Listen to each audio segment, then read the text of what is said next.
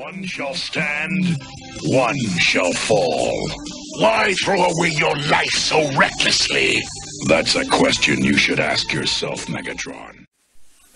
Hello les petits amis, j'espère que vous allez bien en cette fin de semaine qui approche tout doucement. Alors pour cette nouvelle revue et comme je vous l'ai annoncé précédemment, je vais pour mon plus grand plaisir vous présenter le New God Phoenix.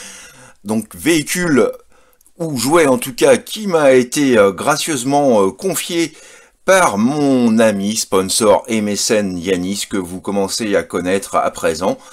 Donc euh, le New God Phoenix fabriqué par Action Toys et on peut dire qu'en termes de qualité on est quand même très très proche d'un Soul of Shogoking donc ça ne laisse augurer que le meilleur. Donc pour ceux qui ne connaissent pas donc le New God Phoenix il s'agit tout simplement du second euh, véhicule après que le premier ait été euh, détruit par une espèce de robot poulpe. Donc euh, issu d'une série japonaise que nous connaissons tous, en tout cas ceux de ma génération. Donc la fameuse série Kagaru Ninja Tai Gatchaman, connue aussi sous le nom de Gatchaman, qui veut dire donc dans sa traduction littérale en gros l'équipe des ninjas scientifiques. Une série donc diffusée au Japon en 1972 et qui a imposé donc euh, certaines bases du, de ce qu'allait devenir donc les lives euh, Super Sentai, donc, et qui a été adapté ensuite par les Américains en 1978. Alors cette série est bien entendu connue chez nous sous le nom de la bataille des planètes, le G euh, figurant sur leur symbole de, sur leur tenue, donc est, est utilisé entre autres chez nous euh, pour signifier donc la Force G. Voilà, une série qui a été diffusée bien longtemps après, donc euh, en fin des années 70, euh, dans l'émission jeunesse culte pour toute une génération, à savoir les visiteurs du mercredi. Petite chose à savoir avant d'entamer donc les hostilités, c'est que donc sur les 105 épisodes initiaux qui étaient donc diffusés au, au Japon du moins, seuls 85 de ces 105 épisodes ont été adaptés par les États-Unis et chez nous seulement 65 épisodes ont été diffusés et traduits. Voilà, la série a malheureusement une fois passée dans les mains des Américains donc fait objet de nombreuses censures à cause notamment de certaines scènes violentes, de grossièreté, etc., etc. Et donc à savoir également, hein, euh, pour ceux qui ne seraient pas au courant, euh, que donc pour surfer donc sur la vague du succès de Star Wars, les États-Unis donc ont introduit le fameux robot 7 qui à la base donc n'existe absolument pas dans le dessin animé japonais. Ça permettait de, combler un petit peu les vides puisque chaque épisode donc était euh, quand même assez censuré euh, et, donc ça comblait les vides et ça permettait en tout cas de résumer plus ou moins donc les scènes qui avaient voilà qui avaient été supprimées. Donc ce fameux Setzarsek qui ressemble étrangement au robot R2D2 dans Star Wars, assisté par son robot chien Anonos 1 et de 5 Cybel 5, afin d'introduire donc des parties aussi comiques au dessin animé. Voilà. Donc je crois qu'on a fait un petit peu le, tour. On va pouvoir donc s'attarder euh, dès à présent donc sur la découverte de ce fameux New God Phoenix. Allez, c'est parti les amis Plus brillant que le vif argent Tant, tant, tant, tant, tant, tant. Oh non, non, non, stop là, non, non, non, non, là, vous gâchez tous les mecs. Allez, dégagez. Bon bah ok, bon bah, que dire Bonne vidéo les mecs Bon bah, tout à l'heure, hein. on veut même plus de nous maintenant. Ouais, pourtant on chante bien. Allez, tchuss et voici euh, tout de suite donc un aperçu de la boîte absolument magnifique. Euh, là encore, donc digne de ce que pourrait nous faire donc euh, une édition Soul of Shogoking. Voilà, le New God Phoenix, boîte avec, comme vous pouvez le constater, une couverture tout autour. Sur la tranche latérale droite, nous retrouvons voilà quelques gimmicks. Sur la tranche latérale gauche, voilà quelques possibilités également donc avec le mode avion. Au dos, rien du tout. Sur le dessus, donc la, petite, la petite euh, estampille donc euh, qui garantit euh, l'authenticité de voilà du jouet. Et puis donc le fabricant Action Toys, voilà un fabricant donc basé sur Hong Kong, voilà donc de cette super série hein, créée par Tatsuo Yoshida connu aussi entre autres, alors je ne vais pas euh, tout vous évoquer parce que c'est quand même voilà, c'est quand même quelque chose de, de plutôt très vieux, très ancien, mais connu aussi donc pour la série et le manga Speed Racer. Et ce fameux et fabuleux générique inoubliable, donc interprété par le grand Michel Barouille, et non pas par le deux citrouilles que vous avez vu juste avant. En termes de contenu, nous retrouvons une notice plutôt succincte et deux petits, deux petites pièces ici qui sont tout simplement des caches vis voilà, que je laisse. Hein, euh, je laisserai donc le, plaisir à, mon ami Yanis de, s'occuper de ça. Donc, qui sont des caches vis, hein, vraiment pour masquer tout type d'aspérité ou de, de, vis visible sur la carlingue. Et ça, c'est quand même vachement bien pensé. Ça fait bien plaisir. Preuve également donc de qualité et de souci du détail. Et nous avons également le site internet du fabricant, du, fabricant original de ce jouet, donc qui est Artstorm.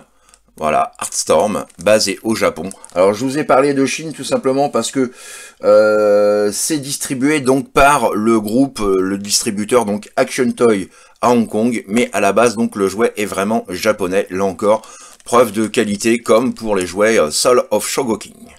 Et toujours parmi les, accessoires, nous retrouvons juste ici un socle d'excellente qualité qui a été lesté à l'intérieur, donc voilà, qui vous garantit vraiment une stabilité optimum, avec donc ici le G pour la force G ou Gatchaman, voilà, avec de jolies gravures légèrement en relief, on le sent au toucher. Le socle est plutôt très beau, très lourd comme je vous le disais, robuste. Nous avons ici donc la mâchoire de fixation pour y placer le New God Phoenix. Et petite chose aussi qui est très appréciable, c'est que vous voyez, vous avez juste ici une petite vis euh, en acier donc qui permet tout simplement de pouvoir déloquer de façon à ce que vous puissiez orienter voilà, le support dans le sens que vous voulez pour donner un effet de, vol ou de décollage ou d'altitude au vaisseau. Et lorsque vous avez choisi votre position, il vous suffit tout simplement donc de revisser voilà, de façon à loquer au maximum la stabilité de la mâchoire de fixation. Voilà, vraiment très très beau. Euh, et très très réussi aussi hein, comme socle, le genre de choses qu'on aime beaucoup et qui dans une vitrine aussi voilà euh, bah, tout à fait sa place et fait son effet. Et avant donc de continuer les présentations du New God Phoenix, petite présentation, petit topo, euh, alors je vais essayer d'être le plus bref possible hein, sur euh, sur cette série, pour ceux qui ne connaissent pas, et je pense que vous êtes quand même assez nombreux, surtout pour les nouvelles générations, donc, euh, qu'est-ce que la bataille des planètes? Bah, tout simplement, donc, ce sont cinq adolescents. On reste dans le concept un petit peu justement du Super Sentai, qui constitue donc la Force G, commandée par le professeur Cavelier, euh, une sorte de chef un peu patriarche, hein, comme on peut voir dans Mazinger, Great Mazinger ou euh, Goldorak. Donc, réunis donc pour lutter contre les forces du mal de la planète Spectra, dirigée par le super vilain Zoltar. Donc, parmi ces cinq adolescents, on y retrouve donc Marc, en français hein, bien entendu, qui est le leader. Nous retrouvons également Thierry, son second. Nous retrouvons Princesse. Nous retrouvons euh, Kipo, voilà, je vais y arriver. Kipo, donc, qui lui est le cadet de la team, hein, il a à peu près 10-11 ans. Et puis donc nous avons également donc Allumette, voilà, le gros costaud et gros gourmand de la bande. Voilà pour le petit topo. Et maintenant, bien entendu, on va pouvoir passer au petit God Phoenix à lui-même. Yeah et petit 360 à présent donc de cette merveille, de cette splendeur. Alors certes, j'ai une grosse préférence pour le premier euh, God Phoenix qui avait quand même un look plus, plus agressif, plus menaçant. Euh, celui-ci n'empêche qu'il a quand même, voilà, il vous a de la gueule.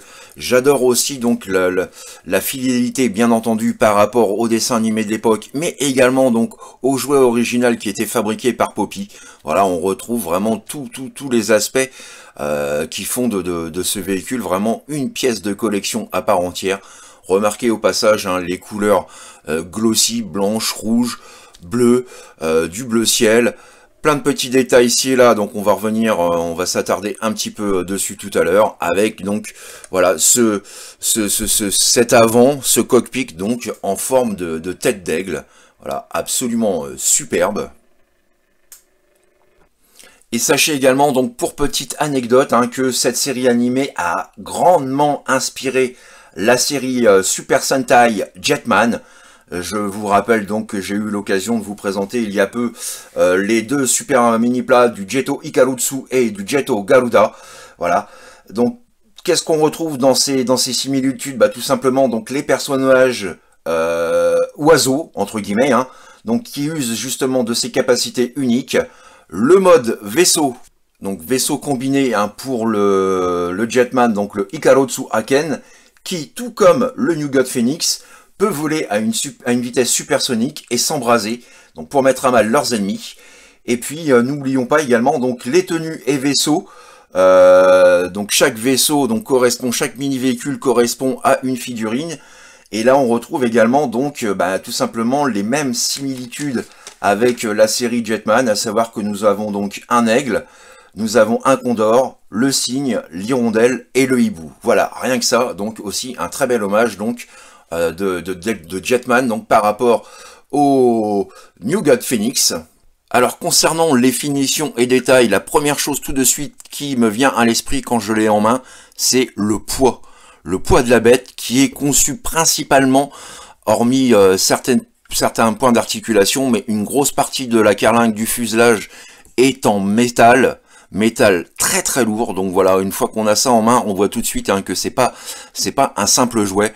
Au niveau des détails, regardez-moi un peu ce visage. Voilà, absolument sensationnel tout en glossy, les yeux, le regard, voilà, les petites flammes, les petites plumes sur le côté, tous les petits détails donc de sculpture et de moulure, hein, que ce soit donc au-dessus ou sur les côtés, vraiment un soin entier a été apporté à ce véhicule. Voilà, nous avons également donc du silver hein, pour euh, voilà pour ces parties-là.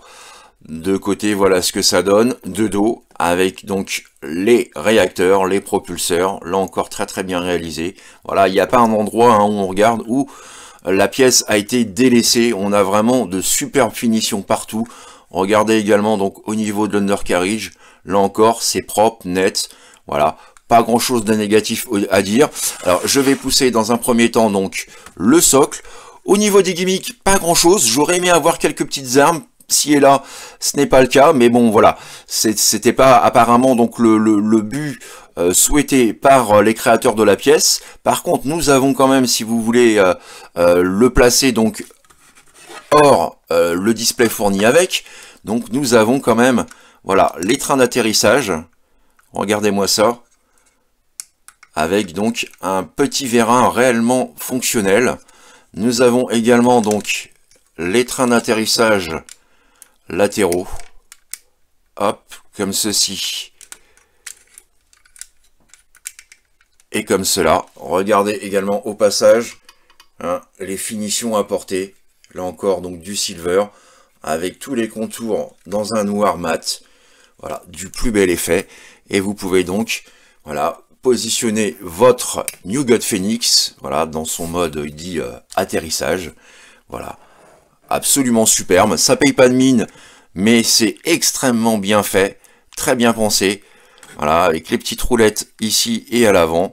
On aperçoit même euh, ici euh, les petits, enjoliveurs des, des, pneus. Donc vraiment très très réussi. Tout voilà, tout rentre et sort de façon admirable. Tout est bien masqué. Et là, donc seule cette pièce-là est à manipuler vraiment précautionneusement puisque le, voilà, le, bras euh, du vérin est quand même assez fin, donc on le manipule tout doucement. Et voilà, donc concernant euh, le New God Phoenix et donc ses finitions générales, on va pouvoir s'attaquer à présent donc aux 5 euh, mini-véhicules, donc véhicules comme, qui, comme je vous le disais, hein, correspondent à chacun donc des membres de l'équipe.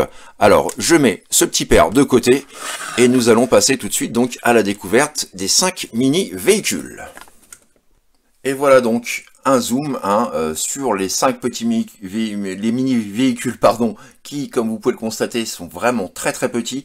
Là encore, euh, très fidèles aux jouets Poppy, à la différence près, c'est que ceux-ci sont entièrement peints et non monochromes, peints également donc aux couleurs euh, de la série animée. Voilà, c'est juste super hein, pour des pièces aussi petites. Le souci du détail est vraiment spectaculaire. Donc je vais reprendre une vue générale, mais pas trop histoire de vous les montrer donc un par un. Hop, je pousse ça. Alors, nous commençons donc en toute logique. Alors, j'ai fait une mise au point, je ne sais pas si ça va bien passer au vu de la petitesse de ces pièces. Nous avons tout d'abord donc le Eagle Sharp piloté par Marc, voilà, donc qui représente l'aigle. Et remarquez hein, vraiment, voilà, les détails à la peinture, du jaune, un cockpit bleu euh, ciel entouré de blanc. Voilà, les finitions sont extrêmement réussies. Un excellent boulot de réaliser pour une si petite pièce. là encore, hein, on est vraiment, on est vraiment dans un level de finition, comme je le disais, proche d'un Soul of Shogoking. Là, franchement, pour le coup, euh, c'est voilà, le travail est vraiment magnifique. On poursuit avec le Condor Attacker, piloté par Thierry, et comme l'indique son nom, il s'agit donc d'un Condor. Et là, c'est une sorte de voiture euh, de sport, voilà, voiture de compétition. C'était pour moi donc le, plus beau véhicule euh, avec, euh, pardon, avec celui de, de, Kipo. Et puis j'aimais bien aussi celui d'Allumette. C'était pour moi voilà le, le, véhicule le plus réussi. Là encore, hein, vous pouvez remarquer voilà les petits détails de moulure, de sculpture, les touches de peinture, vraiment voilà, extrêmement fidèle là encore du superbe boulot. On poursuit avec, voilà, la Swan Bike, la moto pilotée par Princesse, qui elle représente le cygne. Moto que j'avais, hein, j'avais la, la, moto Poppy à l'époque avec la figurine en plastique euh, rigide, voilà, qui euh, lançait deux missiles.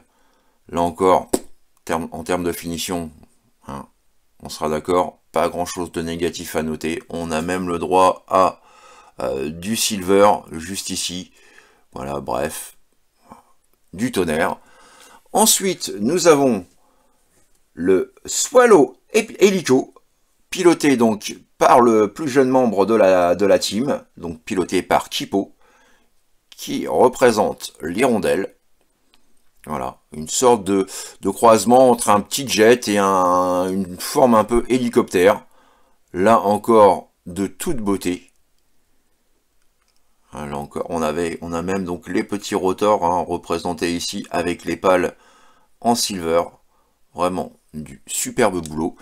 Et on termine par le Sky Tank ou Hound Tank, piloté donc par Allumette, celui qui pilote donc également le New God Phoenix. Voilà. Un gros tank, bien balèze, correspondant vraiment à son propriétaire, là encore avec de chouettes détails. Les touches de peinture glossy hein, vraiment donnent du dynamisme au jouet, avec les chenilles ici, là encore en silver, vraiment c'est absolument superbe. Voilà donc pour la présentation de ces 5 mini-véhicules. Et que serait donc le New God Phoenix sans la possibilité donc de pouvoir stocker, puisqu'il s'agit donc du transporteur principal, de stocker les mini-véhicules. Alors on va commencer tout d'abord donc par l'emplacement du Eagle Carp, donc de marque. Alors pour cela, vous prenez cette partie-là, vous la montez comme ceci, et vous pouvez remarquer juste ici que vous avez là encore deux vérins qui fonctionnent réellement. Voilà. Ensuite, quand, c'est fait, vous rabattez la tête de l'aigle comme ceci. Vous appuyez donc de façon à bien la caler et vous en faites autant ici. Et nous apercevons donc juste ici à l'extrémité donc le Eagle Sharp voilà, que je vais essayer donc d'extraire comme ceci voilà, notre Eagle Sharp donc, qui se loge ici. Petit point négatif par contre que j'ai constaté, c'est que on peut placer les véhicules, mais disons qu'il n'est pas vraiment prévu par le fabricant de les stocker complètement, parce que tout simplement les compartiments sont un peu étroits, sont un peu justes, pour que nous puissions mettre les véhicules et refermer les compartiments respectifs. Donc voilà, cette présentation là est uniquement donc si vous souhaitez mettre donc le New Phoenix dans sa configuration donc de, déploiement donc des, véhicules euh, de chacun des membres. Donc nous avons vu ce qu'il en était donc pour le Eagle Sharp. Nous allons pouvoir passer donc au Condor. Nous continuons donc avec le compartiment donc du Condor Attacker de Thierry. Alors pour cela, et je vais retirer voilà, le New Phoenix pour vous montrer. Donc vous prenez l'aile de ce côté-là, vous la déclipsez en tirant donc vers l'extérieur. Ensuite, vous pouvez la relever, hop, comme ceci, et boum. Et là, donc, nous avons le logement, donc, pour le condor attaqueur. Et comme je vous le disais, vous voyez, là, c'est pareil, le condor attaqueur, donc, l'extrémité dépasse. Donc, on peut pas vraiment, véritablement, le stocker dedans. Ou alors, il faut le mettre, euh, voilà, faut le mettre debout, comme vous voulez. Mais bref, voilà, c'est vraiment pas conçu pour que les véhicules soient stockés donc dans le New Phoenix, dans sa configuration normale. Mais voilà, ça vous a quand même de la gueule. Idem donc pour le compartiment de la Swan Bike, donc de Princesse, même chose, vous tirez pour déloquer donc la partie de l'aile juste ici, vous relevez le tout, et là, donc, nous avons, juste ici, hop là, nous avons donc la moto de princesse, même topo, hein, on voit tout de suite que l'avant dépasse. Voilà, donc le stockage de la moto de princesse. Ensuite, nous avons juste ici, bien caché, la trappe donc, où se trouve le Skytank? Alors, je n'ai pas pu le positionner à l'avant puisque nous avons donc le même problème, mais cette fois-ci en termes d'épaisseur. Vous voyez, une fois que le Skytank ou Hound Tank est à l'intérieur, il est juste, alors je rectifie la caméra rouge, il est juste impossible de refermer complètement donc la trappe. C'est un petit peu dommage. Par contre, pour celui-ci, donc nous avons un petit gimmick. Alors, je vous montre. Vous avez un petit poussoir juste ici. Et lorsque vous appuyez dessus, voilà, je vous montre. Voilà, vous avez donc ce compartiment-là, la trappe juste ici, qui se soulève et qui permet donc d'éjecter notre petit tank. Ça, c'est plutôt pas mal. J'aurais aimé avoir d'autres gimmicks de ce type euh, pour les armes, par exemple, pour les autres véhicules, et pourquoi pas donc avoir aussi en plastique translucide jaune, donc l'effet de flamme qui vient se positionner euh, sur le New God Phoenix, donc pour lui donner son aspect enflammé lorsqu'il veut euh, traverser donc euh, les robots ennemis, hein, pour voilà pour pour mettre un, terme définitif donc aux méchants. Et puis donc la dernière trappe, voilà, qui est elle pour le véhicule Swallow Helico, donc le véhicule de Kipo. Voilà, vous abaissez cette partie-là et vous avez donc juste ici, voilà, le compartiment pour le véhicule de Kipo. Mais là encore, même problème, voilà, ça dépasse, donc vous ne pourrez pas la refermer complètement si c'est ce que vous souhaitiez faire. Ça, c'est un petit peu dommage. Ils auraient pu travailler un petit peu plus la chose pour qu'on puisse vraiment stocker les pièces si on ne souhaite pas les exposer et qu'on souhaite surtout éviter de les perdre. Donc voilà hein, pour ce que j'en pense, sinon pour le reste c'est quand même super. Et là encore, donc on retrouve vraiment toutes les capacités que, l'on voyait donc dans le dessin animé, ou voire même dans le, dans le jouet Poppy. Et pour conclure, donc petit 360 de notre Gold Phoenix dans ce display. Voilà. Que vous pouvez donc exposer ainsi si vous souhaitez donc montrer un petit peu donc la scène de largage des véhicules voilà, de chacun de nos héros. Juste excellentissime. Alors, on aperçoit tout juste, juste ici, donc le petit Sky Tank d'allumettes. Et voilà. Donc pour ce display, vous avez au moins la possibilité, si vous ne pouvez, malgré le fait que vous ne puissiez pas donc les, les stocker, comme je vous disais, à l'intérieur. Voilà un petit peu. Et je dis encore à nouveau, j'aurais aimé avoir quelques armes, voilà, ou quelques compartiments euh, qui, qui s'ouvrent euh, un petit peu comme c'est le cas donc pour, pour la trappe juste ici des petites armes cachées, voilà, qui, sortent et tout. Mais bon, on n'est quand même pas face à un jouet, on est plus dans une pièce de collection. Mais je pense que ça aurait été, ça aurait mérité quand même de figurer donc au palmarès de ce vaisseau vraiment pour en faire juste une pièce exceptionnelle. Et aussi et surtout pour moi donc la flamme translucide donc effet aigle embrasé un peu comme un phénix en fait. Voilà qui aurait pu se rajouter donc euh, au New God Phoenix, voilà pour euh, pour euh, pour simuler aussi donc l'attaque l'attaque la plus destructrice de ce de ce vaisseau. Voilà un petit peu donc voilà pour les présentations de ce New God Phoenix. Yes. À noter tout de même hein, que si vous le souhaitez, il vous est possible de changer l'angle de position des ailes. Voilà, c'est pas grand chose, mais c'est toujours ça. Et voilà, ça fait quand même bien plaisir. Voilà un petit peu donc pour ce petit bijou. Voilà les petits amis, c'est ainsi donc que s'achève ma revue du jour, donc consacrée au sublime New God Phoenix du fabricant Heartstorm. Vraiment une petite pépite, une belle réussite que j'aimerais avoir donc le premier vaisseau. Euh, voilà, c'est aussi, voilà, j'aime aussi le premier vaisseau parce que c'est tout simplement aussi le, le tout premier hein, que l'on voyait donc au début de, la série pendant pas mal d'épisodes, avant qu'il soit détruit et fasse place à celui-ci. Que dire, hein, c'est vraiment une super pièce, malgré quelques petits défauts comme le manque euh, de la flamme principale, donc pour l'effet euh, un peu de type phénix, on va dire, puisque de toute façon donc c'est un phénix. Nous avons donc le petit souci de stockage pour les véhicules, de façon à les cacher et à les ranger en même temps, voilà, qui manque à l'appel. Ça c'est un petit peu dommage également, mais bon, vous avez vu que pour le display, vous pouvez l'exposer soit comme ceci, ou soit en configuration donc euh, de voilà d'ouverture des, des, trappes euh, des différents véhicules.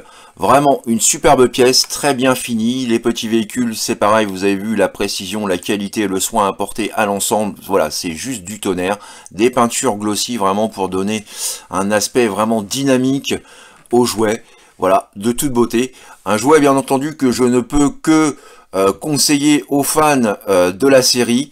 Euh, les jeunes générations qui ne connaissent pas seront peut-être un peu moins tentées, je présume, et c'est en toute logique, hein, bien entendu, euh, par ce véhicule. Mais voilà, une pièce de collection quand même à avoir, à posséder et à exposer euh, dans, sa collection pour tout, tout fan, sachant aussi que c'est indirectement plus ou moins grâce à cette série donc que, nous avons eu ensuite des séries de type Super Sentai, hein, la série donc Gatchaman, y a quand même grandement contribué, ne serait-ce que pour l'hommage donc de Envers ce dessin animé.